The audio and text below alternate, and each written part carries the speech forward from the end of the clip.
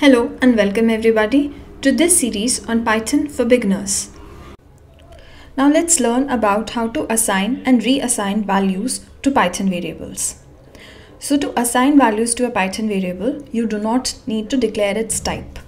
So a Python variable has to be declared and then an assignment operator is to be used which is an equals to sign and then the value which you want to store it in the variable has to be declared on the right hand side. So you can't put the identifier on the right hand side. The identifier that is the variable has to be always on the left hand side of the equation. So let's see an example. Suppose x equals to 10. Now you print x. So it prints 10.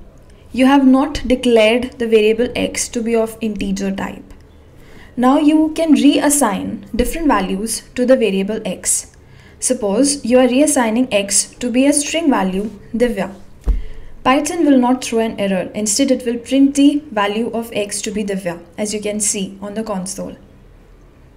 So in Python, variables do not have a data type, an explicit data type. You do not have to declare them declare their data types and you can reassign different values to it.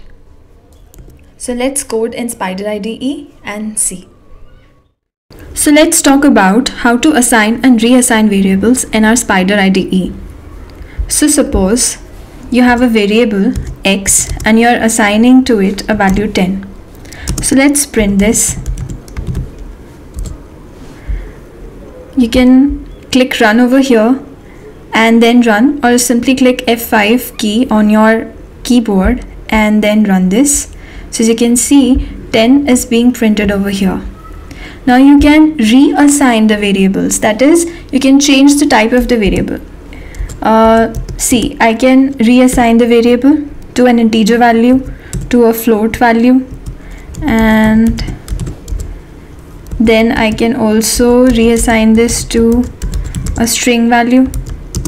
And all this printing will work fine. So i'm pressing f5 and C 7.0 and the is getting printed no error is being thrown. But in assigning values to variables you cannot print a variable before declaring or assigning it. So suppose name is a variable and you're simply printing it. So then python will surely throw an error.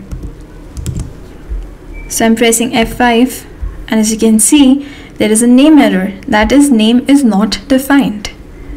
So for example I'm just declaring it not assigning any value to it. Then let's see what happens. Then again it's not working.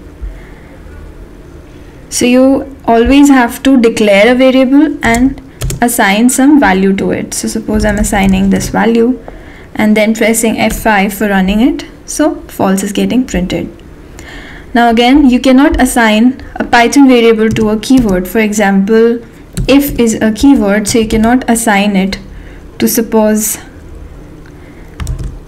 have a good day. And you cannot print it either. So let's run this. Syntax error.